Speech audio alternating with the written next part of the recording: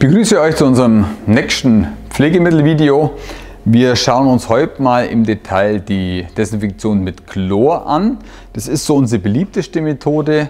Beliebt deshalb, weil Chlor einfach sofort äh, funktioniert und sichergestellt wird, dass entsprechend, wenn freies Chlor verfügbar ist, dass es einfach sofort entsprechend diese äh, Schmutz im Endeffekt bindet. Das bedeutet, wenn jetzt irgendwo so ein Schmutzfilm oder Schmutzpartikel im Becken ist, dann ist es wie so eine Schm Schutzhülle, wo sich dann um diesen äh, Partikel legt, um das einfach dann äh, komple äh, komplett zu äh, desinfizieren.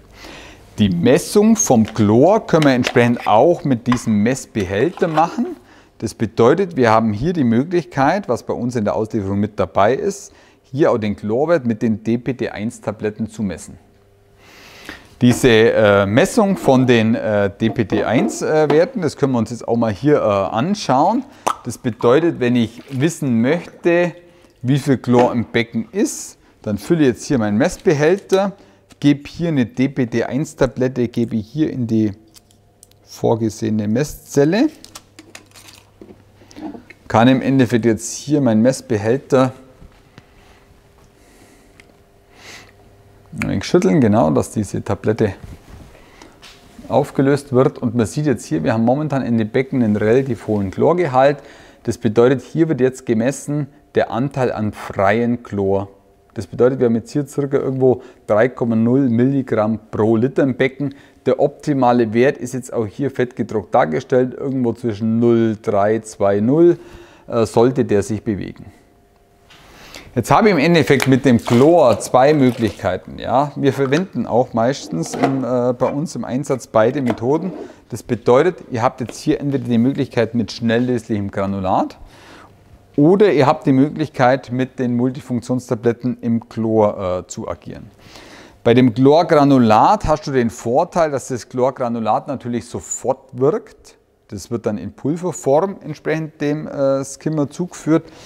Bei den Multitabs ist es wie bei den Bromtabletten, bei den Multitabs, da haben wir auch eine Tablette vorbereitet, ist es so, dass du die Tablette hier in diesen Dosierschwimmer gibst.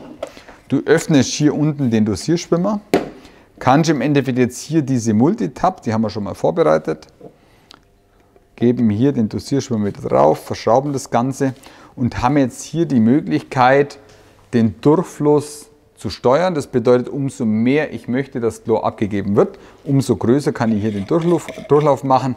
Wenn ich sage, ich habe jetzt zu viel Chlor im Becken und mache das Ganze ein wenig weniger, kann ich hier mit meiner Gegenverstellung kann ich wieder dafür sorgen, dass weniger Durchfluss da ist und gebe jetzt einfach hier den Schwimmer ins Becken und habe jetzt die Möglichkeit, dass immer entsprechend über diesen Durchlauf, über diese Filtrierung ständig Chlor abgegeben wird und ich einfach dafür sorge, dass ein wenig Stabilisierung im Becken da ist und ich dann nimmer manuell dann einfach jeden Tag schauen muss mit Pulverzufuhr oder von der Messung.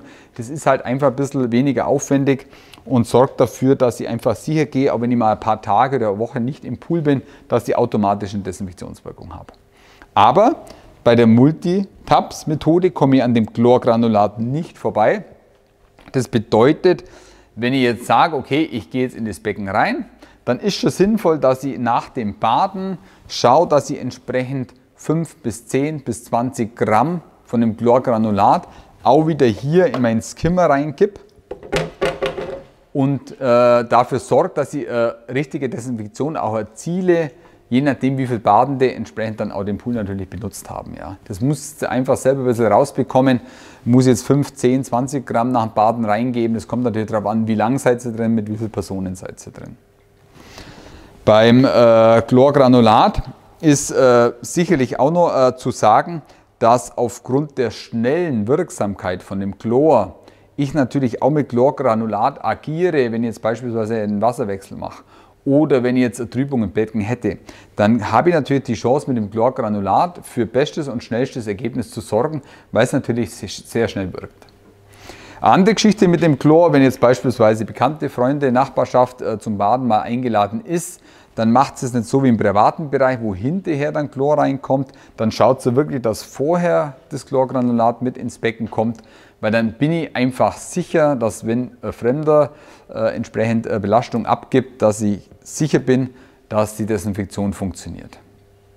Im Privaten, gerne auch nach dem Baden, weil ihr habt ja erst einmal eure Grunddesinfektion über den Schwimmer und dann habe ich halt den großen Vorteil, dass ich dann nicht im Endeffekt auch so geruchsintensives Becken mit dem Chlor habe, wenn ihr das Chlorgranulat vorher reingebt. Das können Sie wirklich äh, hinterher machen.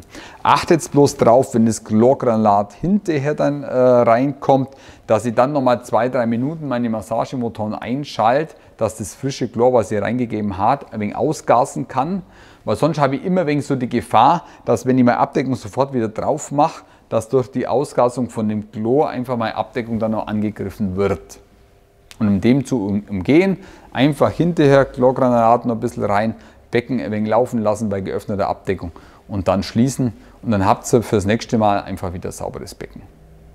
Und bei dem Chlor äh, auch wieder äh, wichtig, wenn ich meine hundertprozentige Desinfektionswirkung entfalten möchte, muss ich immer schauen, dass auch der pH-Wert passt. Ja, das habe ich auch bei der pH-Werterklärung in dem Video mit drin. Das ist vielleicht ganz gut, wenn ihr das parallel auch mal mit anschaut. Das bedeutet, der pH-Wert hängt schon auch mit der Desinfektionswirkung zusammen. Wenn der pH-Wert sehr hoch ist, ist meine Desinfektionswirkung sehr niedrig.